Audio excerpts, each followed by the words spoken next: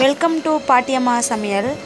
நம்ம இன்றைக்கி சேனலில் என்ன பார்க்க போகிறோம்னா ஒரு முட்டை கிரேவி செய்ய போகிறோம் இந்த முட்டை கிரேவி வந்து பிரியாணிக்கு வந்து சைடிஷ்ஷாக வச்சுக்க மாதிரி நாங்கள் செய்கிறோம் இன்றைக்கி ஃபஸ்ட்டு பாருங்கள் நான் வந்து ஒரு சட்டியில் வந்து எண்ணெய் ஊற்றி கடுகு பெரிய வெங்காயம் பச்சை மிளகா போட்டு வணக்கியிருக்கேன். கொஞ்சம் அவசரத்தில் எடுக்க முடியாமல் போயிடுச்சு அது வீடியோ அதோட கண்டினியூ நான் கொடுக்குறேங்க. பச்சை மிளகா போட்டு நல்லா வணக்கணும். ஃபஸ்ட்டு முட்டையை வந்து வேக வச்சு தோல் ஊற்றி வச்சுருக்கோம். நல்லா பாருங்க வெங்காயம் நல்லா இந்த ப்ரௌன் கலரில் ஆகிற அளவுக்கு நல்லா வெங்காயம் வணங்கிக்கணும். வெங்காயம் வணங்கப்போ தக்காளி சேர்க்குறேங்க. வெங்காயம் ஒரு அஞ்சு வெங்காயம் பெரிய வெங்காயம் கட் பண்ணியிருக்கேன்.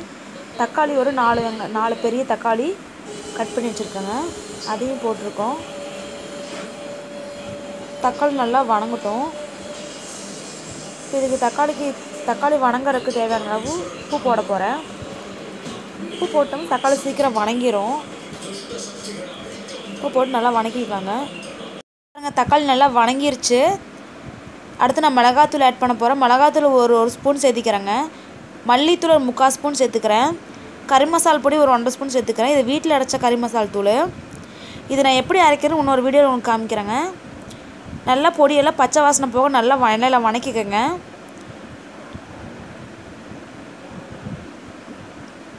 இப்போ பொடியெல்லாம் நல்லா வணங்கி அடுத்து இஞ்சி பூண்டு பேஸ்ட் சேர்த்துக்கிறேன். பூண்டு ஒரு டேபிள் ஸ்பூனும் இஞ்சி தனித்தனியாக அரைச்சி வச்சுருக்காங்க. இஞ்சி ஒரு தன் ஒரு டேபிள் ஸ்பூன் சேர்த்திக்கலாம். இதனால் பச்சை வாசனை போக நல்லா வணக்கிக்கணும்.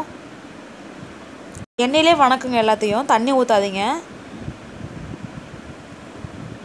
இப்போ வர நல்லா வணங்கிருச்சு. இப்போ நம்ம தண்ணி சேர்த்துக்கலாம். நல்லா எண்ணெய் பிரிஞ்சு வந்துருச்சு பாருங்கள் இந்த ஸ்டேஜில் நீங்கள் தண்ணி ஊற்றினா தான் கிரேவி கிடைக்கும். ரொம்ப தண்ணி சேர்த்திக்காதீங்க. கொஞ்சம் கொல கொலப்பாக வச்சுக்கோங்க. அப்போ தான் இந்த கிரேவிக்கு நல்லாயிருக்கும் இது நல்லா கொதிக்கணும் இப்போ பாருங்கள் மசாலா நான் ரெடி ஆயிருச்சு. நல்லா தண்ணியெல்லாம் சுண்டு எண்ணெய் மேலே பிரிஞ்சு வந்துச்சு இந்த ஸ்டேஜில் நம்ம முட்டை சேர்த்திக்கலாங்க. நான் ஒரு முப்பது முட்டை எனக்கு சேர்த்திக்கிறேங்க. முப்பது முட்டைக்கான கிரே தான் நான் எனக்கு செஞ்சுருக்கேன்.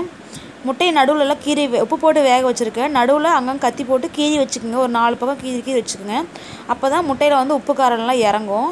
இப்போ எல்லா முட்டையும் சேர்த்திட்டு ஒரு ஒரு பத்து நிமிஷம் தட்டு போட்டு மூடி வச்சுருங்க. நான் அப்போ தான் முட்டையில் உப்பு காரம் எல்லாம் எசன்ஸ் எல்லாம் இறங்கும்.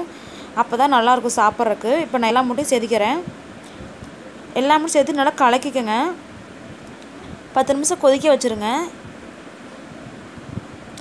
பாருங்கள் எல்லா முட்டையும் போட்டு நல்லா கலரியாச்சு அவ்வளோதான் நம்ம முட்டை மசா கிரேவி ரெடி ஆயிடுச்சு இப்போ நான் கொத்தமல்லி தலை சேர்த்துக்கிறேன் இதுக்கு. அவ்வளோதாங்க நம்ம சூப்பர்பான முட்டை கிரேவி ரெடி ஆயிடுச்சு என்னோடய சமையல் உங்களுக்கு பிடிச்சிருந்ததுன்னா என்னோடய சேனலை லைக் பண்ணுங்கள் ஷேர் பண்ணுங்கள் கமெண்ட் பண்ணுங்கள் மறக்காமல் சப்ஸ்கிரைப் பண்ணுங்கள் பக்கத்தில் உள்ள பெல் பட்டனை மறக்காமல் டச் பண்ணுங்கள் தேங்க்யூங்க